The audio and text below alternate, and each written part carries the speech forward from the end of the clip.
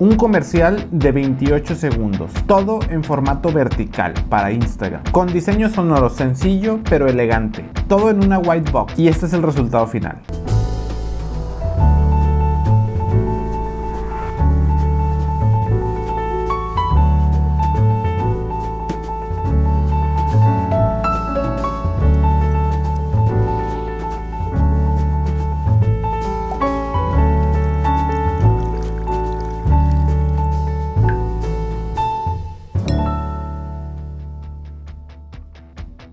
No fue fácil, te cuento el proceso. Yo soy Dani Hernández y bienvenidos a mi canal.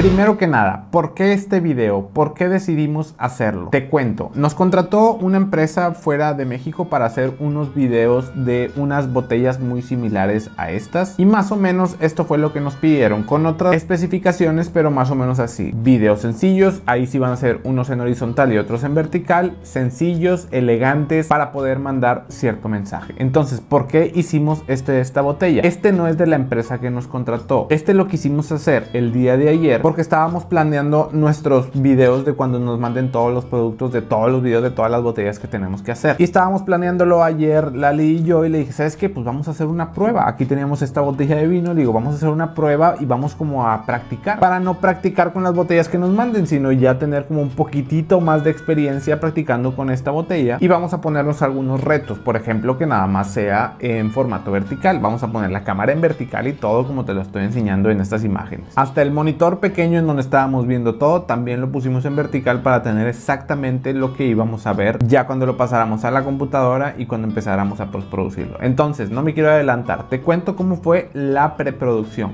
cómo lo planeamos. De verdad, no te estoy exagerando, lo hicimos en esa misma tarde, o sea, la planeación desde qué íbamos a hacer, con qué íbamos a hacer y todo. Entonces, primer reto que nos pusimos, vamos a hacerlo todo en la white box. En esta ocasión le pusimos el fondo negro, pero como sabes tiene fondo negro, fondo blanco, fondo gris claro y fondo verde. Aparte venden muchos otros, pero esos son con los que te vienen en esta white box. De hecho, te voy a dejar ahí el link abajo en la descripción por si quieres ir a verlo donde yo lo compré. Segundo, lo que ya te dije, poner la cámara en vertical. Todo grabarlo en vertical desde que lo estamos grabando. Muchas veces cuando nos piden cosas en vertical, también nos piden cosas en horizontal, como en video normal. Lo que hacemos es grabar en más resolución el video horizontal y ya que estemos, digo, ya que estamos grabando, también lo grabamos con la mentalidad de que ciertas partes van a ser en vertical. Entonces igual hacemos unos shots solo para vertical, pero siempre con la cámara normal. Ya después recortamos. Aquí no, aquí lo que quisimos hacer fue todos los shots exactamente como vayan a salir de la cámara. Más bien que ya salgan de la cámara en vertical. Hicimos un storyboard súper, súper sencillo de más o menos que queríamos. Lo primero, presentar la botella. Algunas tomas muy macro para que se viera un poquito los detalles que queríamos enseñar. Presentamos la botella, la abrimos, nos la servimos en dos copas de vino y al final dos manos agarrando las copas, así como el cheers, el salud y ya, ahí se acaba el comercial. Hicimos nuestras 12, 15 tomas más o menos que necesitábamos, más o menos en mente, más o menos escritas, pero ya que nos pusimos a grabar, pues fue otra cosa y nos encontramos con diferentes detalles y cositas que teníamos que cambiar y que no fue exactamente como lo planeamos. Planeación técnica, usamos la Sony A6500 y usamos el lente 35 milímetros macro. Es un lente súper, súper económico y todo lo queríamos hacer con este lente, a ver qué tal nos iba. Pero el mensaje era claro, que fuera algo sencillo, corto, elegante y de menos de 30 segundos. Y de aquí pasamos a la producción a grabar. Ya cuando teníamos nuestra white box armada, ya cuando pusimos nuestra cámara, nuestro monitor, ya traemos un poquito en mente todo. Nos tomó aproximadamente una hora y media, una hora 45 minutos hacer todas las tomas que teníamos en mente. Hubo algunos errores técnicos que se nos caía un poco el vino o que no encontrábamos las copas adecuadas. Pero bueno, al final esto era solo práctica y ver qué pasaba y también como agarrar un poquito de seguridad en este tipo de shots, limitándonos adrede, o sea, en nuestra white box en vez de poner el rollo grande que hubiera una toma un poquito más abierta. No, quisimos todo muy cerrado, muy elegante, muy close y ponernos esos retos a posta para poder practicar. Y antes de enseñarte un poco del proceso, por aquí en la parte de abajo tienes un botón que dice suscribir. Nos ayuda muchísimo que te suscribas para poder seguir desarrollando este tipo de contenido. Si tú ya estás suscrito, muchas gracias, te quiero mucho. Y ahora sí, vámonos al proceso, te lo dejo.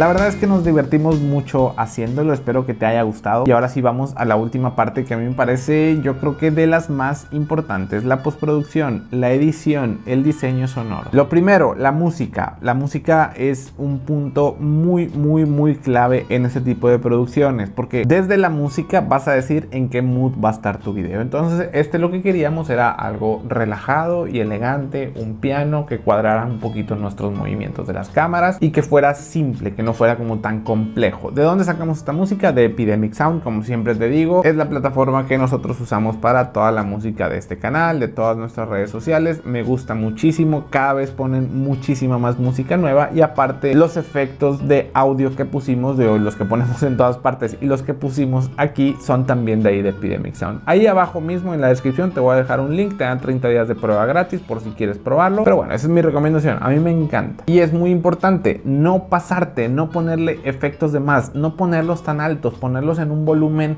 en donde más o menos te suene a que estás como en el video, estás como en la realidad. O sea, a la música sí bajarle un poquito el volumen para que los audios no los tengas que tener tan altos, pero que estén todos los volúmenes como un poquito acorde, un poquito de acuerdo en esto. Entonces, para tener esto un poquito más claro, te voy a dejar la versión de este video, los 28 segundos, solo con los efectos de audio, sin música, puros efectos de audio.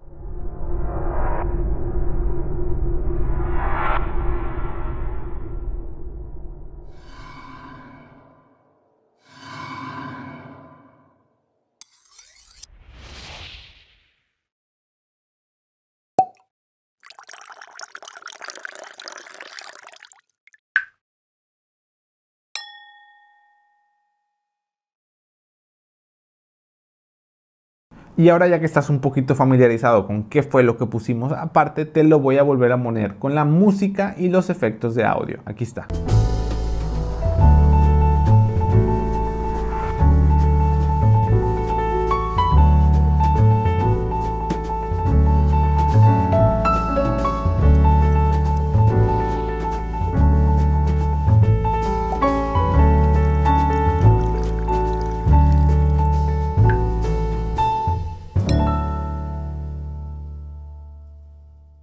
Espero que te haya gustado. A partir de ahí le pusimos un poquito de color grading, que también jugamos un poquito con eso porque queríamos probar cosas nuevas. Y para terminar, como conclusión, ¿cuál es el mensaje de todo esto? Muchas veces, y ya llevo varios videos que a veces lo cuento y lo digo, he aprendido que entre más sencillo a veces es mejor. Entre más sencillo a veces es más elegante. Hay veces que cargamos demasiado el video con demasiadas transiciones, con demasiadas cosas que está bien, en algunos tipos de videos nos lo permite, incluso hasta se ve mejor meterle cosas, muchos efectos, mucho de todo. Pero hay que tener muy en claro cuál va a ser nuestro mensaje. O sea, por ejemplo, el mensaje de este video nosotros queríamos, ok, te presento la botella de vino, te doy un poquito de detalles, la abrimos, la ponemos en las copas y ahí hay dos manos de dos personas que van a disfrutar esta botella de vino. No te quisimos poner nada de fondo, ni un lugar, ni unas velas, ni nada de eso. O sea, te dejo totalmente a tu imaginación donde te imaginas que te vas a tomar esa copa de vino con la persona que tú quieras. O sea, te dejo todo a tu imaginación. Por eso el fondo negro para no quitar como un poquito la atención de lo que queríamos. Entonces, ya que tengas claro el mensaje que quieres dar con tu video, esto aplica para todo tipo de productos. Hemos hecho videos de muchísimos productos, te he enseñado muchos aquí en el canal y aplica para todo, saber el mensaje y cómo vas a transmitir ese mensaje. Si quieres aprender un poquito más de edición, ahí en la descripción te voy a dejar un link para que vayas a nuestra plataforma de cursos. Tenemos un curso de Adobe Premiere Pro totalmente gratis totalmente gratis. Entonces, si te interesa, por ahí te dejo nuestro link. De nueva cuenta te digo que si tú no estás suscrito, es el momento perfecto para que nos apoyes, apoyes a la comunidad. Estamos haciendo esta comunidad muy padre de gente que nos gusta la foto y el video. Si te gustó el video, por favor, danos un like. Si no te gustó el video para nada, si no te gustó para nada, dale dos veces al dislike. Dos veces al dislike.